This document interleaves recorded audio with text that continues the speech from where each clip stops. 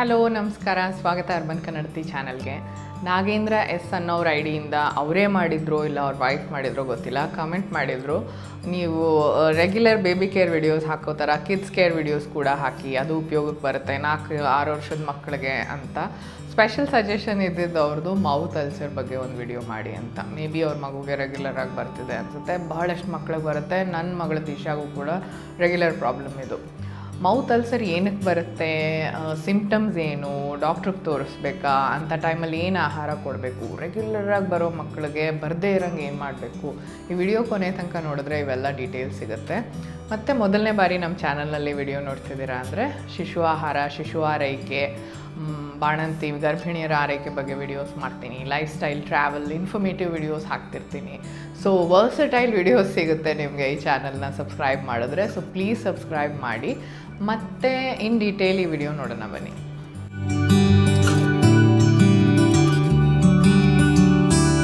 First question mouth ulcer ಅಥವಾ ಬಾಯಿ ಹುಣ್ಣು ಯಾಕೆ ಬರುತ್ತೆ? ಬಾಯಿ ಹುಣ್ಣು ಬಹಳ ಕಾರಣಗಳಿವೆ.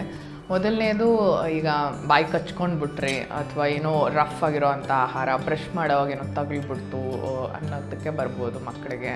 ಮತ್ತು ಫುಡ್ ಅಲರ್ಜಿ ಇರಿಟೆಂಟ್ಸ್ ಯಾವುದೋ ಒಂದು ಆಹಾರ ಅವ್ರಿಗೆ ಸೆಟ್ ಆಗ್ತಾ ಇಲ್ಲ ಅಂದರೆ ಬರೋ ಚಾನ್ಸಸ್ ಇದೆ. ನೆಕ್ಸ್ಟ್ ವಿಟಮಿನ್ ಡಿಫಿಷಿಯನ್ಸಿ ಈಗ ಸರಿಗೆ ಆಹಾರ ತಿನ್ನಲ್ಲ ಫಝಿ ಈಟರ್ ಅಂತ ಹೇಳ್ತಾರಲ್ಲ, ಅಂಥ ಮಕ್ಳಿಗೆ ಭಾರಿ ಕಷ್ಟ. ಪುವರ್ ಡಯಟ್ ಅದೇ ಜಂಕ್ ಫುಡ್ ಎಲ್ಲ ತೊಗೊಳ್ತಾರೆ ಅಂದರೆ ಬರುತ್ತೆ, ಮತ್ತು ಲ್ಯಾಕ್ ಆಫ್ ಸ್ಲೀಪ್ ನಿದ್ದೆ ಸರಿಯಾಗಿ ಮಾಡೋದಿಲ್ಲ ಸ್ಟ್ರೆಸ್ಸು ಈಗ ಓದು ಓದು ಓದು ಅನ್ನೋ ಮಕ್ಕಳಿಗೆ ಒಂದು ಸರ್ಟನ್ ಏಜ್ ಆದಮೇಲೆ ಸ್ಟ್ರೆಸ್ ಶುರು ಆದಾಗ ಅದಕ್ಕೆ ಕೂಡ ಬರ್ಬೋದು.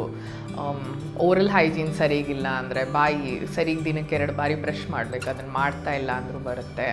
Sometimes it can be genetic ಅಪ್ಪ, ಅಮ್ಮಗೆ ಬಂದು ಮಕ್ಳಿಗೆ ಬರೋ ಚಾನ್ಸಸ್ ಇದೆ. ಸಮ್ಟೈಮ್ಸ್ ಏನೂ ರೀಸನ್ನೇ ಇರಲ್ಲ, ಯಾಕೆ ಬಂತು ಅಂತಲೇ ಗೊತ್ತಾಗಲ್ಲ ಬಟ್ ಮೌತ್ ಅಲ್ಸರ್ ಬರ್ತಾ ಇರುತ್ತೆ.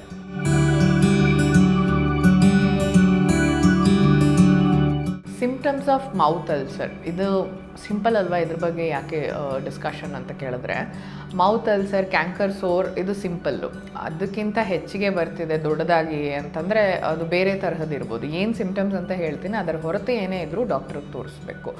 ಮೊದಲು ತುಟಿ ಕೆಳಗೆ, ಹಿಮ್, ಒಳಗಡೆ, ಕೆನ್ನೆ ಒಳಗಡೆ ಬರುತ್ತೆ. ಕಾಲು ಇಂಚಷ್ಟು ದೊಡ್ಡದಾಗಿರುತ್ತೆ. ಮತ್ತು ಬೆಳ್ಳಗಿರುತ್ತೆ, ಅದು ಸುತ್ತಲೂ ರೆಡ್ಡಿಶ್ ಆಗಿರುತ್ತೆ. ತಿನ್ನೋವಾಗ ನೋವಾಗುತ್ತೆ. ಅದರಿಂದ ಜ್ವರ ಬರೋ ಚಾನ್ಸಸ್ ಏನೂ ಇರೋದಿಲ್ಲ. ಹಂಗೇನಾದರೂ ಇತ್ತು ಅಂದರೆ ಇನ್ನೊಂದು ಸ್ವಲ್ಪ ದೊಡ್ಡ ದೊಡ್ಡದಾಗಿ ಬರ್ತಿದೆ ಅಂತಂದರೆ ಡಾಕ್ಟರ್ಗೆ ತೋರಿಸ್ಬೇಕಾಗತ್ತೆ.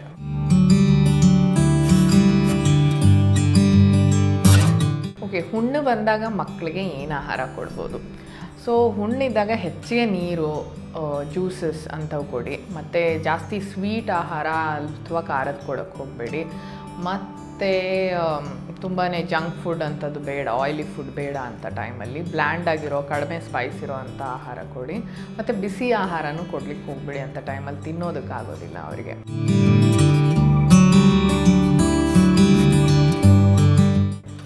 ಹೋಮ್ ರೆಮಿಡೀಸ್ ಏನಾದರೂ ಇದೆಯಾ ಅಂತ ಕೇಳಿದ್ರೆ ಎಸ್ ಸಿಂಪಲ್ ಹೋಮ್ ರೆಮಿಡೀಸ್ ನೀವು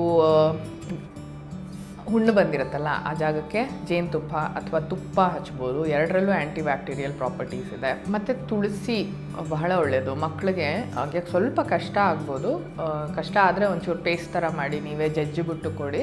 ಇಲ್ಲದಿದ್ರೆ ಅವ್ರು ಅಗ್ಗದ ತಿಂದರೆ ಅದರ ರಸ ಅಲ್ಲಿಗೆ ತಗಲಿದ್ರೆ ಬಹಳ ಒಳ್ಳೆಯದು ತುಳಸಿನಲ್ಲಿ ಅದು ರಿಪೀಟ್ ಆಗದೆ ನೋಡ್ಕೊಳ್ಳೋ ಅಂಥ ಶಕ್ತಿ ಇದೆ. ಅವಾಗವಾಗ ಹುಣ್ಣು ಬರೋ ಮಕ್ಕಳಿಗೆ ಬಾಯಿ ಹುಣ್ಣು ಬರೋ ಮಕ್ಕಳಿಗೆ ತುಳಸಿ ಅಗದು ತಿಂದರೆ ಒಳ್ಳೆಯದು ಮೊಸರು ಅಥವಾ ಮಜ್ಜಿಗೆನಲ್ಲಿ ಲ್ಯಾಕ್ಟಿಕ್ ಆ್ಯಸಿಡ್ ಇರುತ್ತೆ. ಇದು ಬ್ಯಾಕ್ಟೀರಿಯಲ್ ಗ್ರೋತ್ನ ತಡೆಗಟ್ಟುತ್ತೆ.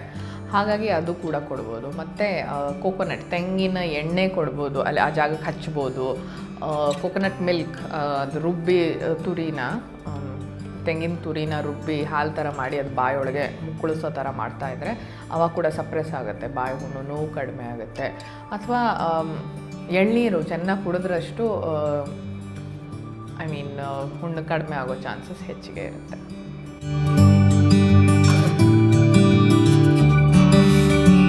ಓಕೆ ಡಾಕ್ಟರ್ನ ಯಾವಾಗ ಮೀಟ್ ಮಾಡಬೇಕು? ಈಗ ಇದು ಒಂದರಿಂದ ಎರಡು ವಾರದೊಳಗೆ ಹೋಮ್ ರೆಮಿಡೀಸ್ ಮನೆ ಮದ್ದಲ್ಲೇ ಕ್ಯೂರ್ ಆಗಬೇಕು. ಆಗಿಲ್ಲ ಅಂದರೆ ಡಾಕ್ಟರ್ನ ಭೇಟಿ ಮಾಡಿ. ಮತ್ತು ಅರ್ಧ ಇಂಚು ಇಲ್ಲ, ಇನ್ನೂ ದೊಡ್ಡ ದೊಡ್ಡದಾಗಿ ನಾಲ್ಗೆ ಹತ್ತಿರ ಎಲ್ಲ ಬರ್ತಿದೆ ಅಂದರೆ ಡಾಕ್ಟರ್ಗೆ ತೋರಿಸ್ಬೇಕು. ಅದರಿಂದ ಜ್ವರ ಬರ್ತಾ ಇದೆ ಮಗುಗೆ ಅಂದರೂ ಕೂಡ ಡಾಕ್ಟರ್ಗೆ ತೋರಿಸ್ಬೇಕಾಗತ್ತೆ.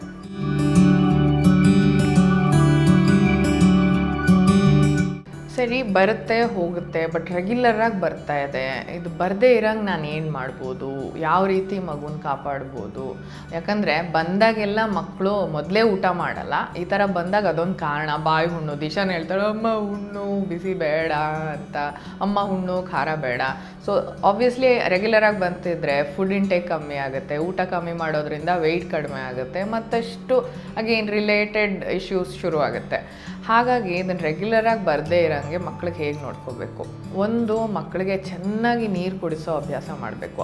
ಅವ್ರಿಗೆ ಹೆಂಗೆ ತಯಾರು ಮಾಡಿಬಿಡ್ಬೇಕು ಅಂದರೆ ನೀರಿಲ್ಲದೆ ಆಗಲ್ಲ ಅನ್ನೋಂಗೆ. ನನ್ನ ಫ್ರೆಂಡ್ ಭವ್ಯ ಅಂತ ಇದ್ದಾಳೆ. ಮುಂಚೆ ನಂಗೆ ಭಾಳ ಆಶ್ಚರ್ಯ ಆಗೋದು, ಎಲ್ಲೇ ಹೋದರೂ ಏನಿರಲಿಲ್ಲ ಅಂದರೂ ಬ್ಯಾಗಲ್ಲಿ ಅಟ್ಲೀಸ್ಟ್ ಒಂದು half a litre to one litre bottle ಅಂತೂ ಅವಳ ಬ್ಯಾಗಲ್ಲಿ ಡಿಕ್ಕಿಲಿರೋದು ಎಲ್ಲಿ ಹೋದರೂ ನೀರು ಕುಡಿಯೋಳು. She has very good immunity power so ನೀರು ಚೆನ್ನಾಗಿ ಕುಡಿಬೇಕು, ಮತ್ತು ಇಮ್ಯುನಿಟಿ ಹೆಚ್ಚಿಸೋ ಅಂಥ ಆಹಾರ ಕೊಡಬೇಕು ಮಕ್ಕಳಿಗೆ ಮೇಯ್ನ್ ವಿಟಮಿನ್ ಸಿ ಇರೋವಂಥ ಆಹಾರ ಸಿಟ್ರಸ್ ಫ್ರೂಟ್ಸ್ ಅಂಥದ್ದು. ಹಾಗೆ ಆರೆಂಜು ಅದೇ ಕಿತ್ಲೆಹಣ್ಣು, ಮೂಸಂಬಿ ನಿಂಬೆಹಣ್ಣು ಹೆಚ್ಚಿಗೆ ಬಳಸ್ಬೋದು. ಅವರ ಆಹಾರದಲ್ಲಿ ಚಿತ್ರಾನ್ನ ಮತ್ತು ಅವಲಕ್ಕಿ, ಉಪ್ಪಿಟ್ಟು ಅಂಥವಕ್ಕೆಲ್ಲ ನಿಂಬೆಹಣ್ಣು ಹಾಕಿ ಕೊಡಿ ಮಕ್ಕಳಿಗೆ. ಮತ್ತು ಅವ್ರ ಓರಲ್ ಹೈಜೀನ್ ತುಂಬ ಇಂಪಾರ್ಟೆಂಟ್ ದಿನಕ್ಕೆ ಎರಡು ಬಾರಿ ಬ್ರಷ್ ಮಾಡಬೇಕು, ಆರು ತಿಂಗಳಿಗೊಮ್ಮೆ ಡಾಕ್ಟರ್ ವಿಸಿಟ್ ಹೋಗಲೇಬೇಕು ಡೆಂಟಿಸ್ಟ್ ಹತ್ರ. ಸೊ ನೀವು ಹೇಳಿದ್ರೆ ಕೇಳಿಲ್ಲ, ಅಂದರೆ ಡಾಕ್ಟರ್ ಹತ್ರ ಹೇಳಿಸ್ಬೋದು. ನೀಟಾಗಿ ಬಾಯಿ ದಿನಕ್ಕೆ ಎರಡು ಬಾರಿ ಉಜ್ಜಬೇಕು. ಅವಾಗ ಅವಾಗ ಉಪ್ಪು ನೀರಲ್ಲಿ ಬಾಯಿ ಮುಕ್ಕಳಿಸಿದ್ರು ಇದು ಕಡಿಮೆ ಆಗುತ್ತೆ. ಯಾರ ಮಕ್ಕಳಿಗೆ ತುಂಬ ಬರ್ತಿದೆಯೋ ಅದು ಕೂಡ ಮಾಡ್ಬೋದು. ಸೊ ಇನ್ ಸಿಂಪಲ್ ಎಲ್ಲ ಡೀಟೇಲ್ಸ್ ಕವರ್ ಮಾಡಿದ್ದೀನಿ ಅಂದ್ಕೊಂಡಿದ್ದೀನಿ ಏನಾದರೂ ಮಿಸ್ ಆಯಿತು ಅಂದರೆ ಕಮೆಂಟ್ ಮಾಡಿ ತಿಳಿಸಿ ಅದಕ್ಕೂ ಉತ್ತರ ಕೊಡ್ತೀನಿ. ಇಲ್ಲ ಮೇನ್ ಕಮೆಂಟ್ ಒಂದು, ಇನ್ಮೇಲೆ ಏನು ಮಾಡ್ತೀನಿ ಗೊತ್ತಾ? ಏನಾದರೂ ಪಾಯಿಂಟ್ಸ್ ನಾನು ಮಿಸ್ ಔಟ್ ಮಾಡಿ, ನೀವು ಕಮೆಂಟ್ಸಲ್ಲಿ ಕ್ವೆಶನ್ ಕೇಳಿದರೆ, ಅದೊಂದು ನಾಲ್ಕೈದು ಕ್ವೆಶನ್ಸ್ನೆಲ್ಲ ಒಟ್ಟಿಗೆ ಸೇರಿಸಿ ಫಸ್ಟ್ ಕಮೆಂಟಲ್ಲಿ ಉತ್ತರ ಕೊಟ್ಟು ಪಿನ್ ಮಾಡಿಬಿಡ್ತೀನಿ. ಎಲ್ಲರಿಗೂ ಅರ್ಥ ಆಗೋ ಥರ. ಸೊ ವಿಡಿಯೋ ಇಷ್ಟ ಆಯಿತು ಅಂದರೆ ಗೊತ್ತಲ್ಲ please like comment and share ಮಾಡಿ. ಈ ವಿಡಿಯೋಗೆ ಅಟ್ಲೀಸ್ಟ್ ನಾನು ಟೂ ಥೌಸಂಡ್ ಲೈಕ್ಸ್ ಎಕ್ಸ್ಪೆಕ್ಟ್ ಮಾಡ್ತಿದ್ದೀನಿ. ಸೊ ನೋಡಿದವರೆಲ್ಲ ಲೈಕ್ ಬಟನ್ ಒತ್ತಿದ್ರೇ ಅದು ಸಾಧ್ಯ.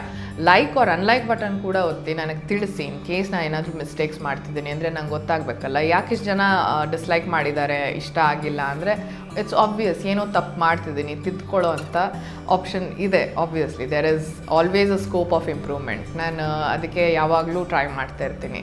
ಸೊ ಅದನ್ನು ಮಾಡಿ ಕಮೆಂಟ್ ಮಾಡಿ ನಿಮ್ಮ ಸಜೆಷನ್ಸ್ ಈಗ ನಾಗೇಂದ್ರ ಅನ್ನೋರು ಸಜೆಸ್ಟ್ ಮಾಡ್ದಂಗೆ. ನಿಮ್ದೇನಾದರೂ ಸಜೆಷನ್ ಇದ್ದರೆ ಪ್ಲೀಸ್ ಮಾಡಿ. ರೆಗ್ಯುಲರಾಗಿ ನಡುವೆ ನನಗೆ ತುಂಬಾ ಇಮಿಡಿಯೇಟ್ ಕ್ವೆಶನ್ಸ್ ಬರುತ್ತೆ. ಮಗುಗೆ ಫೀವರ್ ಇದೆ, ಏನು ಮಾಡಬೇಕು? ಮಗು ಮೂರು ದಿನದಿಂದ ಮೋಷನ್ ಪಾಸ್ ಮಾಡಿಲ್ಲ, ಏನು ಮಾಡಬೇಕು? So please don't post any immediate questions ನಾನು ಉತ್ತರ ಕೊಡೋಕ್ಕಾಗಿಲ್ಲ ಅಂದರೆ ಮಗು ಆರೋಗ್ಯಕ್ಕೆ ತೊಂದರೆ ಆಗುತ್ತಲ್ವ? ಸೊ ಅಂಥ ಟೈಮಲ್ಲಿ ಡಾಕ್ಟರ್ ವಿಸಿಟ್ ಮಾಡಿ ರೆಗ್ಯುಲರ್ ಕ್ವೆಶನ್ಸ್ ಇದ್ದರೆ ಪೋಸ್ಟ್ ಮಾಡಿ. ಸಮಯ ಆದಂತೆ ಉತ್ತರ ಕೊಡ್ತೀನಿ. ಆ್ಯಂಡ್ ನಮ್ಮ ಚಾನಲ್ನಲ್ಲಿ ಫಸ್ಟ್ ಟೈಮ್ ವಿಡಿಯೋ ನೋಡ್ತಿದ್ದೀರಾ ಅಂದರೆ ಫಸ್ಟೇ ಹೇಳಿದ್ನಲ್ಲ ಸಬ್ಸ್ಕ್ರೈಬ್ ಮಾಡೋದು ಮರಿಬೇಡಿ. ನನ್ನ ಫೇಸ್ಬುಕ್ ಮತ್ತು ಇನ್ಸ್ಟಾಗ್ರಾಮ್ನಲ್ಲಿ ಫಾಲೋ ಮಾಡಿ. ಅಲ್ಲಿ ರೆಗ್ಯುಲರ್ ಅಪ್ಡೇಟ್ಸ್ ಏನಾದರೂ ಪರ್ಸ್ನಲ್ ಇಮೇಜಸ್ ಏನಾದರೂ ಶೇರ್ ಮಾಡ್ತಿರ್ತೀನಿ.